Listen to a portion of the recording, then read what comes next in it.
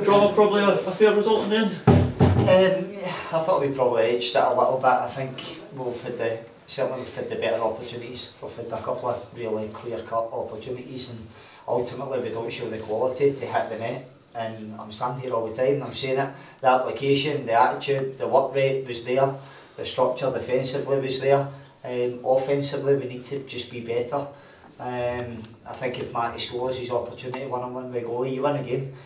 I said that to him as thin lines in football. Um, unfortunately, that's cost us three points today. Um, I'm not, I can't be too um, upset with the players. Everything I asked them to do, they done. We just need to, those key moments, we need to hit the net.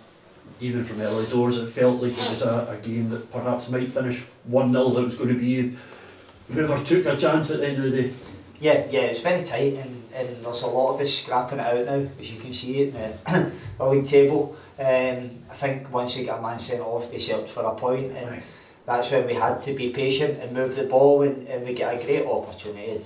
Again, it's a guilty chance, and we need to score. Uh, and then you win a game at that point, it's a completely different conversation right now. But um, I can't fault their effort um, and, and what we've done out there. We just need to be more clinical. I said that to Grant Gallagher about the, the red card, that almost in a way benefited them in the sense that they didn't now need to should we go for a goal and try and get three points or should we settle for a draw? It can force their hand. It did, it did absolutely. They were in between, they were going to try and steal it as well. Um, the red card just made them come off the game and, and settle for the point and that became difficult. They've, they've got a big experience back four um, and they just weren't messing about, just clearing the ball and I thought we huffed and puffed, we created a few opportunities um, without really being able to hit them. In terms of positives, another point on the board? Yeah, it's, a, it's another clean sheet in terms of positives. Um, I know that since January I think we've only lost with the odd goal at any point in a game. Um, but that's how tight it is with all these teams. Uh, us all the way up to fifth. It's going to be it's going to be a nervy um, ending to the season. We've got ten massive games, and the players know that. The players know that. But what I've seen today gave me confidence because um, in terms of I thought our quality times was decent in the conditions. Uh, we're a goal away from winning the game. You say about ten games, obviously everyone else has got nine, got the game in hand on Tuesday night. It's a, another big, big game. It's a huge game. It's a huge game. I, I've said it all season long to you guys. A point's good if we follow up with three.